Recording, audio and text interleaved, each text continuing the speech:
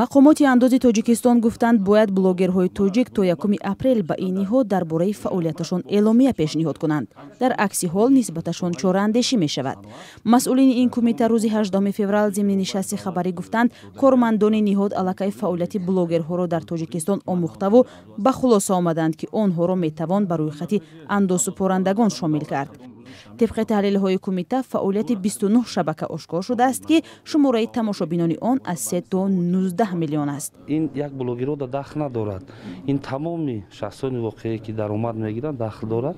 Вобаста ба ҳамин аллакай мо хато накунам зиёда аз чорта онҳо аллакай дар мақомоти андози худашонро ба сифати соҳибкор ба қайд гирифтагӣ ҳастанд ва чораҷӯя дар ин дами домода чизи маъмулӣ аст бояд дигар хеле қабул карда нашавад. Ба ин тартиб кумитаи андози тоҷикистон рӯйхати фаъолтарин блогерҳои тоҷикистонро пешниҳод кард ки миёни онҳо каналҳои блогерон беҳрӯз зеваров рафаил гулов орзу исоев диловар сафаров ва овозхонҳо шабнами сурайё фарзонаи хушед нигина амонқулова ва зулайхо маҳмадшоева шомиланд бар асоси ин феҳрист ҷои якумро канали тамошо мегирад ки 867 ҳазор обуначӣ дошта теъдоди умумии тамошои наворҳои ин канал 430 миллион будааст.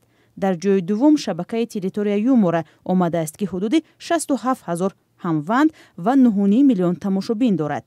Ҷои севум лоиҳаи дугонаҳо бо 19 миллион тамошобин ҷои чорум имшаб лайфи мубориз усмонов панҷум канали орзу исоев бо 6 миллион теъдоди умумии тамошобинон ҷой гирифтаанд.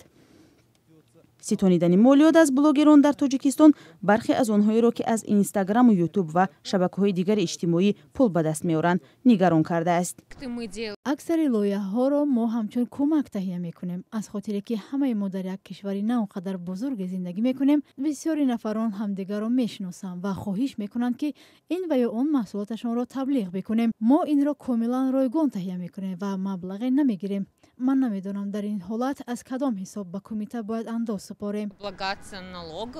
Бархеи дигар аз тасмими кумита розӣ ҳастанд бо мо суҳбат карданд ва пурсиданд ки аз кадом ҳисоб мо даромад дорем? Аз ютуб ва ё инстаграм ба мо фаҳмонданд ки ҳар шаҳрванде ки даромад дорад бояд ба давлат андоз супорад. Ман фикр мекунам ки ин дуруст аст. Ҳафтод дарсади даромади буҷаи тоҷикистон аз ҳисоби андоз ё молиёт аст. Ба фарқ аз пеш имсол хароҷоти буҷаи кишвар 140 миллион доллар афзоиш ёфт. Барои пур кардани буҷа ба гуфтаи коршиносон ба кумитаи андоз супорӣ шудааст роҳҳои нави андозситониро ёбанд коршиносон мегӯянд дар шароите ки вазъи молӣ дар кишвар хуб нест мақомот талош мекунанд ки пул аз блогерону ширкатҳои хориҷӣ ба даст оварда шавад